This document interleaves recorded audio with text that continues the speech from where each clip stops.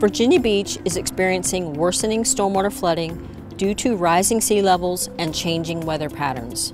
But we don't let these challenges overwhelm us. Instead, we turn to innovation and proven solutions to protect our homes and livelihoods. Solutions like automated tide gates. So what are they? Automated stormwater tide gates are structures that use water level sensors to help control the flow of water in and out of our city's drainage system. Basically, they help stop rising tidal elevations from flooding low-lying land.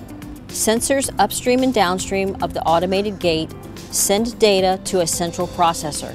The gates then open and close automatically with the tides, preventing backflow during extreme high tides and enabling drainage during normal tidal cycles, which occurs during most days.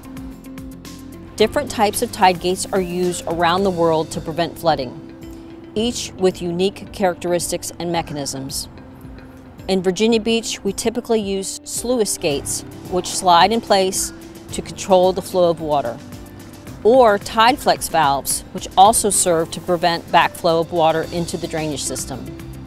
As part of the city's flood protection program, we continue to leverage floodgates for flood mitigation purposes.